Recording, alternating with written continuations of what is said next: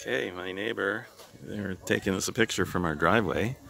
And that's our neighbor uh, harvesting his olive trees. And we got a whole row of them here to do. And actually they're using sticks. We use rakes, but they're using sticks.